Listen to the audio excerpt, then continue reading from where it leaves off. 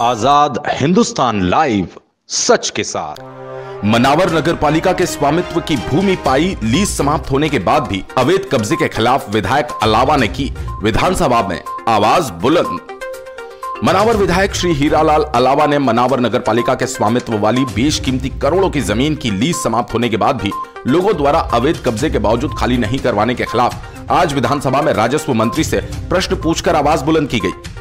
Doctor Hiralal अलावा ने विधानसभा में प्रश्न पूछा कि क्या नगरीय विकास और आवास मंत्री महोदय ये बताने की कृपा करेंगे कि क्या नगर पालिका मनावर के स्वामित्व की वार्ड क्रमांक पाँच की भूमि वर्ष उन्नीस सौ सड़सठ और अड़सठ को 30 वर्ष की लीज पर निजी उपयोग हेतु दी गई, जिसकी अवधि वर्ष उन्नीस सौ छियानवे और संतानवे में समाप्त हो गई।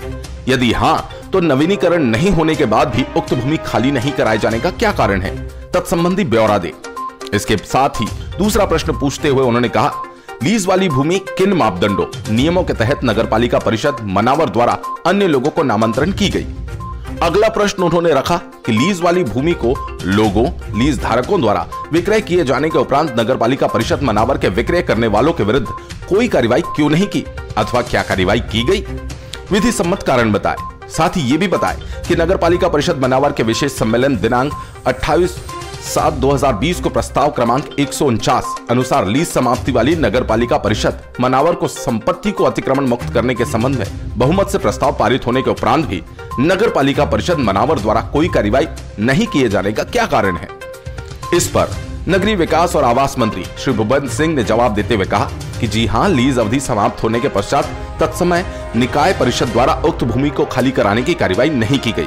साथ ही लीज ग्रहिता, धारकों के द्वारा बिक्री रजिस्ट्री और पारिवारिक वंश परंपरा के आधार पर लीज भूमि का बंटवारा किए जाने के कारण तत्समय निकाय द्वारा उक्त भूमि का नामांतरण किया गया है।